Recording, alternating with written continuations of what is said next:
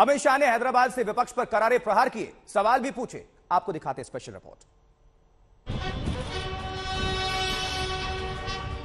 हैदराबाद का लिबरेशन केंद्र का सेलिब्रेशन। हैदराबाद मुक्ति दिवस पर केंद्र सरकार जश्न मना रही है। 17 सितंबर 1948 को भारतीय सेना ने ऑपरेशन पोलो चलाकर निज़ाम की सेना और रजाकारों को पस्त कर दिया था। इसी दिन हैदराबाद रियासत का भारत में विलय हुआ था।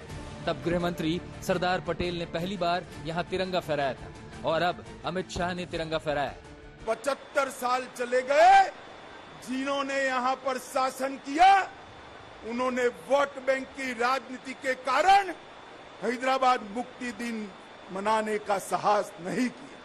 वादे तो अनेक लोगों ने किए, चुनावों में वादे किए, आंदोलनों में वादे किए, मगर सत्ता पर आते ही रजाकारों की भय से पलट गए।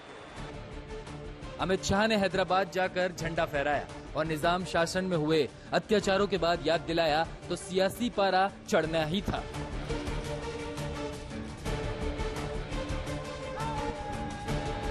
राज्य की टीआरएस सरकार ने तो कार्यक्रम से दूरी बनाई है, लेकिन हैदराबाद सांसद असदुद्दीन ओवैसी ने केंद्र सरकार की नीयत पर ही सवाल उठा दिए। भाई, आप इसको इंटीग्रेशन डे के तौर पर क्यों नहीं मनाना चाहते? मनाइए ना, सबको रखिए, हम भी आते हैं हम आने तैयार थे। सिर्फ़ ओवैसी ही नहीं, तेलंगाना के सीएम केसीआर ने भी अमित शाह के कार्यक्रम से दूरी बनाई, जबकि उन्हें बतौर मुख्यमंत्री इस कार्यक्रम के लिए आमंत्रित किया गया था। मुक्ति दिवस की जगह टीआरएस तेलंगाना एकीकरण दिवस मना रही है। ओवैसी को मुक्ति दिवस नाम से समस्या है। सारी लड़ाई अगले साल होने वाले विधानसभा चुनाव और फिर लोकसभा चुनाव की है। हिंदू बीजेपी का कोर वोटर ओवैसी को मुस्लिमों का चेहरा माना जाता है। रही बात टीआरएस की तो इस बार चुनौती बड़ी होने वाली है।